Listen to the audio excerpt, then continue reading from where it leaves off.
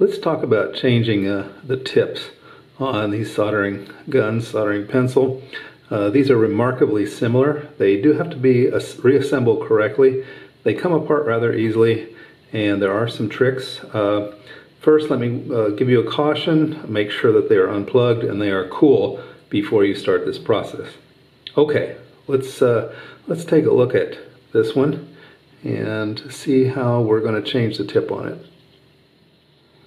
Okay, our soldering iron is cool. The first thing we have to do is remove this nut right here, and this is really the only thing that is is uh, like has a screw or anything to it. And this just comes off. Uh, I don't usually take it off, I usually just leave it on that thing. So there's a few parts here. So the first one is this outer jacket. Everything's coming apart. So this is just this outer jacket, and it holds this tip in place.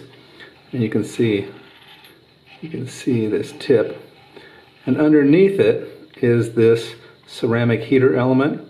And that ceramic heater element is fragile, so you can break it rather easily. Don't break it because it's kind of the end of the soldering iron if you do. This is the tip, this is the piece you'll replace. There's usually a spacer back here and these spacers, this one has a collar up here and no collar here.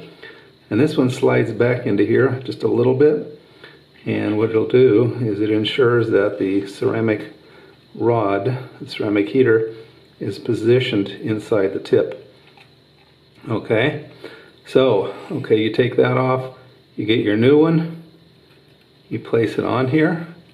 Uh, you can wipe that off with a paper towel, that's a good idea if it's kind of grungy like this one you put this collar, outer collar back on it, put the retainer ring over the outside, and screw it down, and that's it. You're ready to go. The soldering pencil is only slightly different. Again, make sure that it's not plugged in. It's, it's uh, cool to the touch. Again, this uh, retainer nut is removed and it has this outer sleeve, retainer sleeve, and it has a slightly different, see this spacer? This spacer has a collar here and a collar here, and then there's a little, uh, what would you call it, indentation, a little the metal's been taken down so that it fits inside that collar. And so that's pretty much it. Again, be careful not to damage this uh, ceramic uh, heating element. And you slide it back on there. Slide on the retainer. Retainer has a collar on it down here. And put the nut back on it.